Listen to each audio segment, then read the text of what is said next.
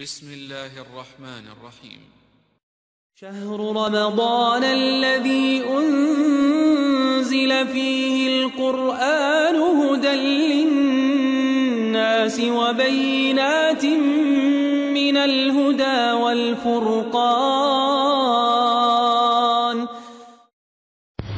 وعليكم السلام ورحمة الله وبركاته. الحمد لله وحده والصلاة والسلام على من لا نبي بعد. أما بعد সম্মানিত এক দিনী ভাই ইন্ডিয়া থেকে আসমা কালাম নামে এক দিনী ভাই, তিনি জানতে চেয়েছেন, প্রশ্ন করেছেন যে পবিত্রতা অর্জনের ক্ষেত্রে আমি যখন পবিত্রতা অর্জন করি, তখন আমি তিনবার কুলি করি অথবা তিনবার নাকে পানি দেয় তিনবার মুখমণ্ডল ধৌত করি, এরকম করি।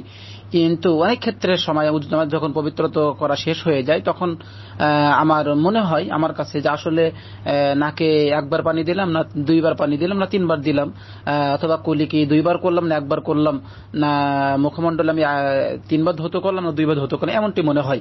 তা আসলে এরকম যদি কম বেশি হয়, তাহলে আজকে আমার কোনো অসুবিধা হবে কিনা পবিত্র অর্জনের ক্ষেত্রে। আর দ্বিতীয়ত, ফরজ গোসলের সঠিক পদ্ধতিটা কি? এই বিষয়টা আপনি জানাবেন বিস্তারিত। আলহামদুলিল্লাহ জাসাকাল আহসান জাদা সম্মানিত দিনী ভাইকে সুন্দর একটি প্রশ্ন করার জন্য। জি, সম্মানিত দিনী ভাই প্রথমত আমরা জানার চেষ্টা করব ফরজ গোসলের সঠিক পদ্ধতিটা কি? এ বিষয়ে রাসুল্লাহ সাল আলহি ওয়াসাল্লাম যখন তিনি পবিত্রতা অর্জন করতেন, তখন তিনি প্রথমত তিনি তার দুই হাত সুন্দরভাবে ধৌত করে নিতেন। তারপরে তিনি তার লজ্জাই স্থান ধৌত করতেন। ডান হাত দিয়ে যে এই জিনিসটা আছে, ডান হাত দিয়ে বাম হাতে পানি ঢেলে লজ্জাস্থান কি করতেন। তিনি সুন্দর করে পরিষ্কার পরিচ্ছন্ন করতেন। তিনি লজ্জাস্থানে পরিষ্কার করতেন। তারপরে তিনি যে কাজটা করতেন সেটা হচ্ছে যে সলাতের যেভাবে উজু করতেন, সলাতের যেভাবে উজু করা হয়, এই সলাতের উজুর নাই তিনি উজু করতেন। পরবর্তীতে তিনি কি করতেন যে, তিন অঞ্জলি পানি নিয়ে তিনি মাথায় ঢেলে দিতেন। তারপরে তিনি দুই পা কি করতেন পানি দিয়ে সুন্দর করে ধৌত করে ফেলে দিতেন। এটা হচ্ছে আপনার ফরজ গোসল সঠিক পদ্ধতি। যে হাদিসটি আপনার সহি মুসলিম গ্রন্থ তিনশো ষোলো নম্বর হাদিসে এসেছে। এছাড়া বুলগুল মারাবের একশো উনিশ নম্বর হাদিস এখানে আপনি পাবেন। বিস্তারিত এখানে আলোচনা রাখা হয়েছে ফরজ গোসলের পদ্ধতি সম্পর্কে। যে হাদিসটি মাইশর রদি আল্লাহ তালা আনহা থেকে বর্ণিত তিনি বলছেন যে রাসুল্লাহ সাল্লাহ আলহি ওয়াসাল্লাম যখন তিনি পবিত্রতার জন্য তিনি ফরজ গোসল করতেন, তখন তিনি সর্বপ্রথম যে কাজটি করতেন সেটা হচ্ছে তিনি প্রথমত দুই হাত সুন্দর করে তিনি ধুয়ে নিতেন। তারপরে সাল্লাম পবিত্রতা অর্জনের জন্য তিনি ডান হাত দিয়ে বাম হাতে পানি ঢেলে লজ্জাস্থানটা সুন্দর করে পরিষ্কার করতেন, ধুয়ে ফেলতেন। এরপরে যে কাজটি আল্লাহ রসুল সাল্লাহ আলি সাল্লাম তিনি করতেন, তিনি সলাতের ন্যায় কি করতেন, উজু করতেন সুন্দর করে।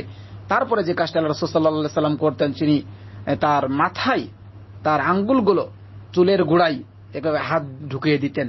চুলের গোড়ায় তার আঙ্গুলগুলো ঢুকিয়ে দিয়ে তিনি, এ করতেন। পানি, সেখানে পানি ঢেলতে তিন অঞ্জলি পানি ঢেলতেন, সারা গায়ে তিনি পানি ঢেলে দিতেন এটা করার পরে।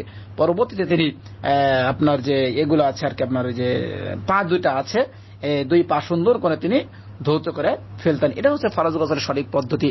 আর দ্বিতীয়ত, আপনি যে বিষয়টা জানতে চেয়েছেন যে আসলে আপনি এই যে পবিত্র অর্জনের ক্ষেত্রে যে অঙ্গ প্রত্যঙ্গ ধৌত করেছেন, সেক্ষেত্রে আপনার মনে সন্দেহ জাগে, এটা আমি তিনবার ধৌত করলাম না দুইবার ধৌত করলাম না, একবার ধৌত করলাম, এটা আপনার মনে কনফিউশন জাগে।